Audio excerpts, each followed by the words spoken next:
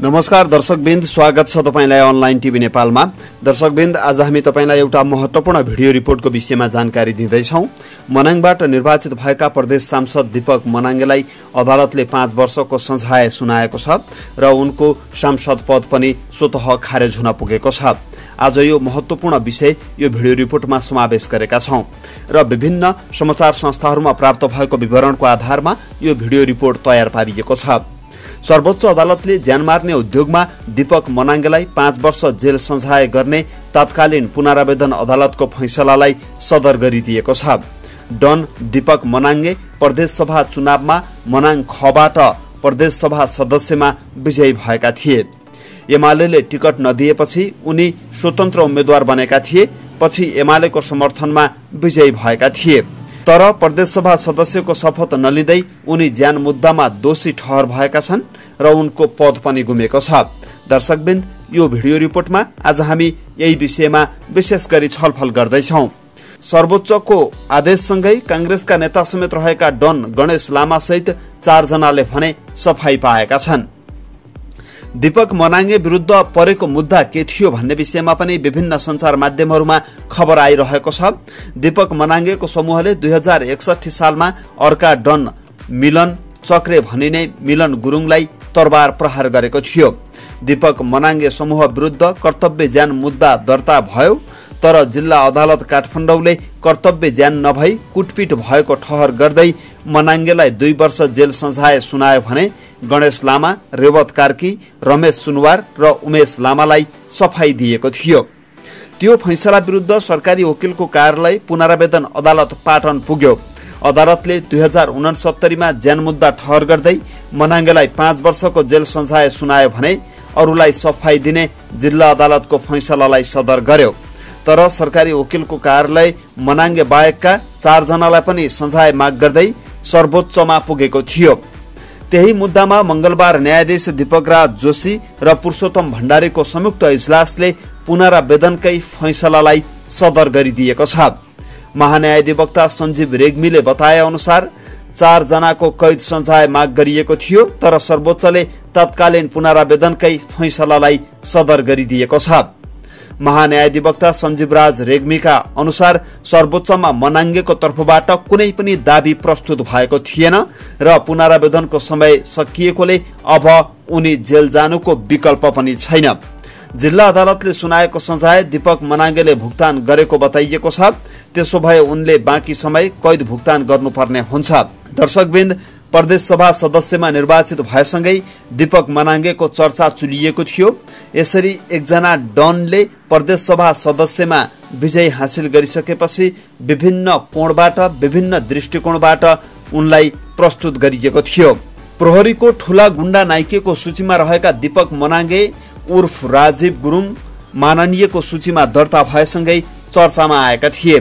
मनाङ खबाट प्रदेश सभा उम्मेद्वार बनेका मनाङ्गेले एक हजार चार सय दस मत प्राप्त गर्दै विजय हासिल गरेका थिए।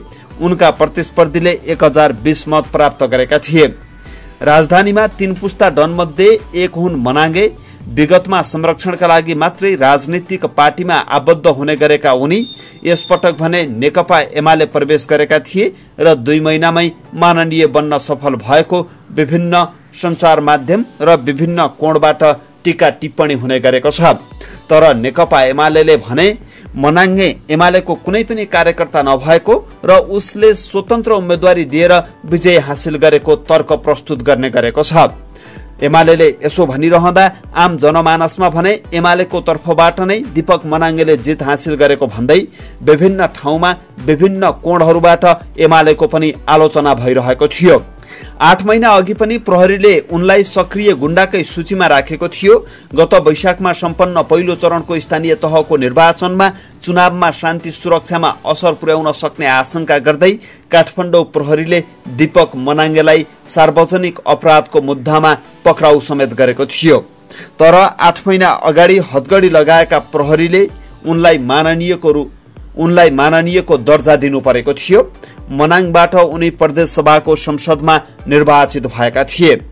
तर सर्वोच्च अदालतको आदेशसँगै उनी फेरि प्रहरी नियन्त्रणमा पुग्ने निश्चित भएको छ र उनको पद पनि गुमेको छ। दीपक मनाङ्गेको उदय कसरी भयो भन्ने विषयमा पनि हामी तपाईँलाई जानकारी दिँदैछौँ। पैसा कमाउने उद्देश्यले काठमाडौँमा दुई हजार पचास एकाउन्न सालबाट समूह बनाएर गुण्डागर्दी गर्ने प्रचलन बढ्दै गइरहेको थियो। राजधानीमा सबैभन्दा चर्चामा आएका पुराना डन मध्येमा दीपक मनाङ्गे राजीव गुरुङ र चक्रे मिलन मिलन चक्रे नै थिए। मनाङ्गेले आफ्नो एरिया बनाएर डनगिरी गर्ने ठाउँ थियो ठमेल एरिया जहाँ उनी डान्स बार र रेस्टुरेन्ट सञ्चालनदेखि हप्ता असुरीसम्मको धन्दा गर्ने गर्दथे। उनलाई पैसा नबुझाइ कसैले पनि त्यहाँ होटेल रेस्टुरेन्ट व्यवसाय गर्न सक्ने अवस्था थिएन। ठमेलका सबै रेस्टुरेन्टका बियरका बोतलको ठेक्का समेत उनकै हुने गर्दथ्यो। जडीबुटीदेखि क्रसरसम्म उनले लगानी बढाउँदै लगेका थिए। उनी पटक पटक प्रहरी हिरासतमा मात्रै होइन जेल पनि परिसकेका व्यक्ति हुन्। ठमेलको रेस्टुरेन्टमा तोडफोड गरेको आरोपमा उनलाई प्रहरीले पक्राउ गरेकोमा जेल चलान भएका थिए। आफू दीपक मनाङ्गे नभई राजीव गुरुङ भएको तर्क गर्दै उनी छुट्न पनि सफल भएका थिए। कमाई बढेसँगै उनको सेटिङ नेतादेखि प्रहरीसम्म पुगेको थियो। त्यसैले उनले ठमेल दरबार मार्ग एरियामा राज गरेका थिए। सुरुमा उनी राप्रपा निकट थिए। केही समय काङ्ग्रेसमा पनि आबद्ध भए तर दुवै पार्टीबाट सोचे अनुसारको पद र संरक्षण नपाएपछि दुई हजार अडसठी सालमा उनी नेता बन्न लक्ष्मण चौधरीको सङ्घीय समाजवादी पार्टीमा प्रवेश गरेका थिए। सोही पार्टीमा उनी उपाध्यक्ष समेत भएका थिए। बैठकमा चौधरीलाई नै मुक्का हानेपछि उनलाई प्रहरीले पक्राउ गरेको थियो। गत वर्ष अपहरणको मुद्दामा उनी फेरि पक्राउ परेपछि उक्त मुद्दामा उनले सफाई पाए फेरि उनी राप्रपामा आबद्ध भएका थिए। तर राप्रपाबाट आफ्नो स्वार्थ पूरा नहुने भएपछि उनी एमाले निकटका बने। सांसद बन्ने महत्वकांक्षाले नै उनी एमालेमा प्रवेश गरेको बुझिएको छ। तर पार्टीले टिकट नदिएपछि मनाङमा स्वतन्त्र उम्मेद्वारी दिएका मनाङ्गेलाई एमाले नै कुनै उम्मेद्वारी नदिइकन सघाएको थियो। एमालेकै सहयोगमा उनी प्रदेशसभा संसदमा निर्वाचित भएका छन्। प्रहरी अधिकारी भने उनको विजयले राजनीतिमा गुण्डागर्दी संस्थागत बनेको भन्दै चिन्ता व्यक्त गर्दथ्यो। तर अब उनको सांसद पद पनि गुमेको छ र उनले पाँच वर्षको जेल सजाय भोग्नुपर्ने भएको छ। दर्शकबिन्द आजको यो भिडियो रिपोर्ट तपाईँलाई कस्तो लाग्यो? कृपया प्रतिक्रिया दिनुहोला। प्रतिक्रियाको लागि तलको कमेन्ट बक्समा कमेन्ट गर्न सक्नुहुनेछ र अन्य भिडियो रिपोर्ट हेर्नको लागि हाम्रो YouTube channel online TV Nepal subscribe गर्नुहोला। हस् नमस्कार।